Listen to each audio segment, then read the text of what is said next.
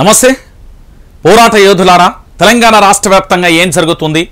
కొత్త ప్రభుత్వం ఏం చేయబోతుంది? ఇది ఉత్కంఠగా మారుతుంది కదా? అవును నిజమే. కొత్త ప్రభుత్వం ఏం చేస్తుంది అని మనం ఆలోచించడం కంటే ఏం చేయబోతుంది అనే ఉత్కంఠ కంటే ఏం చేయదు అనే అభిప్రాయానికి వస్తే బాగుంటుందేమో? ఎందుకు ఈ మాట మాట్లాడుతున్నారంటున్నారా? ఎస్ అక్షరాల సత్యాన్నే చెప్తున్నాను. ఆ రోజు ఆరు గ్యారంటీలకు సంబంధించి ఎన్నికల ప్రచారానికి ముందే తెల్ల రేషన్ కార్డు గురించి నేటి ప్రభుత్వం మాట్లాడి ఉంటే బాగుంటుంది అంటున్నారు తెలంగాణ సమాజం.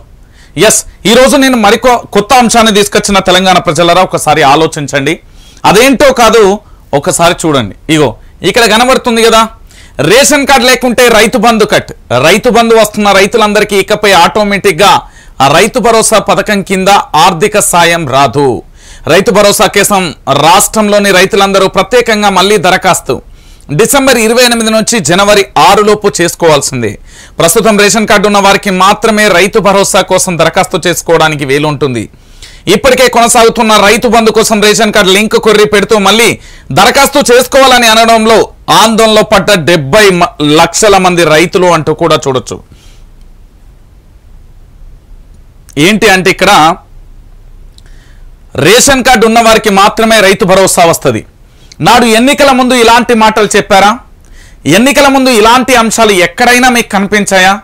పోనీ ఎన్నికలకు సంబంధించి కనీసం ఇలాంటి అంశాలు మీరు ఎక్కడైనా విన్నారా తెలంగాణ ప్రజలారా? లేదు కదా. మరి ఈరోజు తెలంగాణ రాష్ట్ర వ్యాప్తంగా ఎందుకు రైతు భరోసాకు సంబంధించి ఆందోళన మొదలవుతుంది? అసలు నిజంగా మనకు డబ్బులు వేస్తారా వేయరా అనేది కూడా తెలంగాణ ప్రజలందరూ కూడా ఆలోచించాల్సిన విషయమే.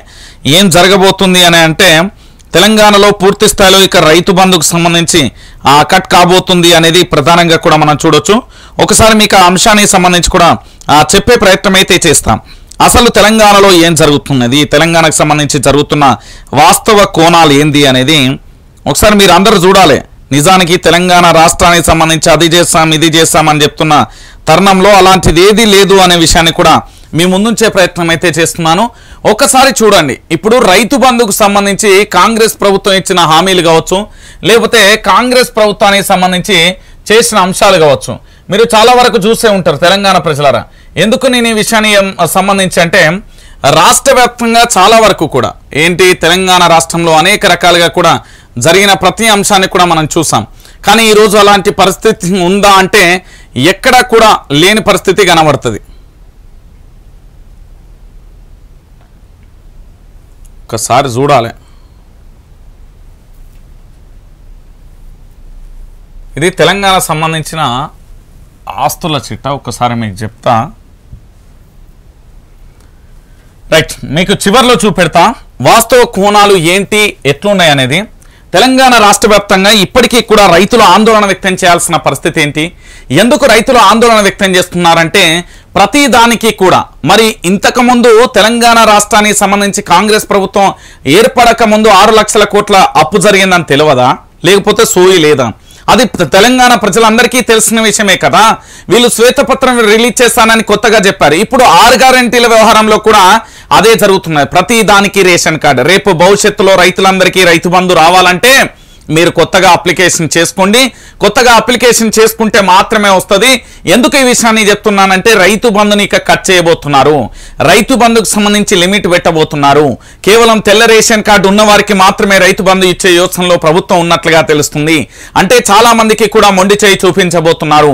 ఇక భవిష్యత్తులో ఎట్టి పరిస్థితులలో రైతు బంధుకు సంబంధించి ప్రజలందరూ కూడా ఇబ్బంది పడాల్సిన ఓ రోజు వస్తుంది అనేది కూడా మీరు ఆలోచించుకోవాల్సిన విషయమే. ఎందుకు నేను విషయాన్ని చెప్తున్నానంటే తెలంగాణ ప్రజలారా నిజమైన విషయం. రైతు బంధుకు సంబంధించి మేము పదిహేను వేలు ఇస్తామంటే నిజంగానే వీళ్ళు ఎక్కడి నుండి తీసుకొస్తారు? చాలా రకాలుగా కూడా ప్రయత్నాలు చేసి తీసుకొస్తారేమో అనుకున్నాం. కానీ అలాంటి పరిస్థితి ఎక్కడా లేదు. ఏంది? ఇకపై పూర్తి స్థాయిలో కొత్త రైతులందరట మళ్ళొకసారి రైతు భరోసా కోసం దరఖాస్తు చేసుకోవాలంటే. దానికి సంబంధించి అన్నీ చెప్తున్న పరిస్థితి కనబడుతుంది. ఇక రైతు భరోసా రైతు బంధు ఇవన్నీ చెప్పిన మాటలు మొత్తం నీటి మూటలుగా మారబోతున్నాయి. రేవంత్ రెడ్డి ప్రభుత్వం రైతు బంధు కట్ చేయబోతున్నది. కేవలం తెల్ల రేషన్ కార్డు ఉన్న వారికి మాత్రమే ఇచ్చే యోచనలో ఉన్నట్లుగా తెలుస్తున్నది.